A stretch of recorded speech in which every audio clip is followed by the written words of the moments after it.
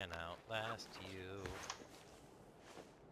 I don't care about surviving past this. I just want to kill this team.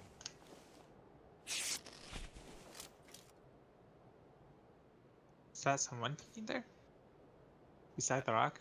Between the tree and the rock? Oh no.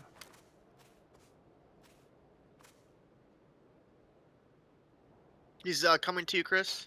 Yep. Nice!